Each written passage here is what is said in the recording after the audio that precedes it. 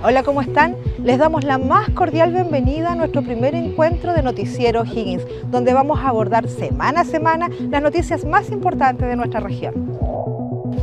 Partiremos con la visita del presidente Gabriel Boric a nuestra región que estuvo en las tres provincias de O'Higgins, en Cachapoal, en Colchagua y en Cardenal Caro. Los primeros días del mes de mayo, el presidente Gabriel Boric visitó por tres días la región de O'Higgins.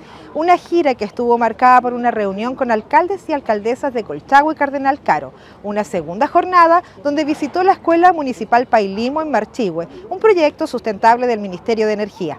Visitó también la comuna de Peralillo para entregar incentivos a agricultores y agricultoras y terminó con la entrega de 250 viviendas para familias de San Vicente de Tahuatagua en el conjunto habitacional Orlando Letelier.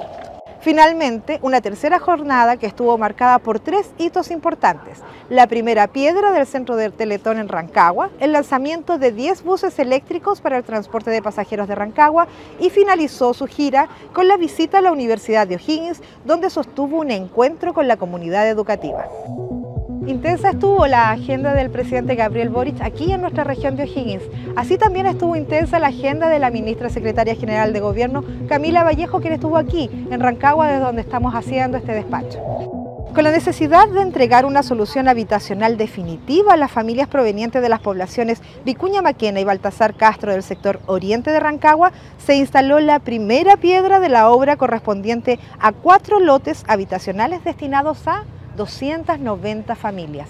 La buena noticia es que iniciamos la construcción de este proyecto habitacional para la ciudad de Rancagua, 290 familias que vienen luchando hace cinco años por renovar su vivienda ante arrendatario y van a poder ser, eh, seguir siendo dueñas de su vivienda, su casa propia, pero además de la casa propia, son proyectos que construyen barrio. Hoy día con esta primera piedra estamos saldando una deuda de más de cinco años con personas, ¿no es cierto?, y con un proyecto que se enmarca dentro de lo que se llama la renovación urbana.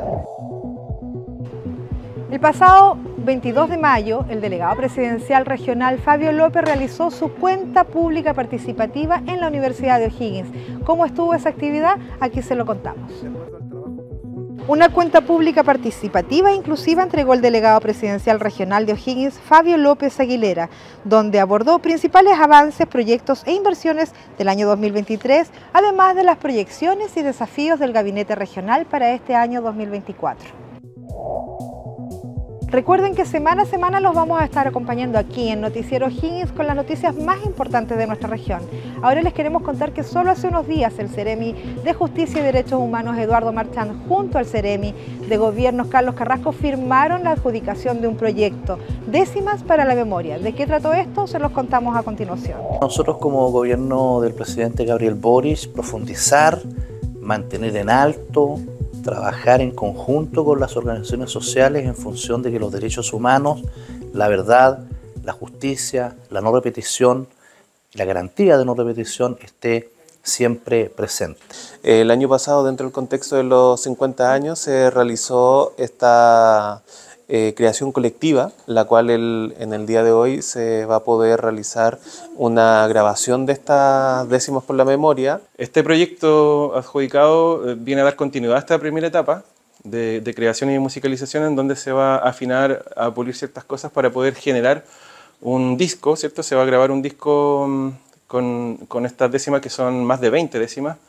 Eh, cantadas, relatadas eh, y musicalizadas ¿cierto? por la comunidad participante. De esta forma damos por finalizado nuestra primera jornada de Noticiero Higgins. Los dejamos cordialmente invitados semana a semana para que nos acompañen y nosotros poder compartirles lo más importante de nuestra región. Que estén muy bien.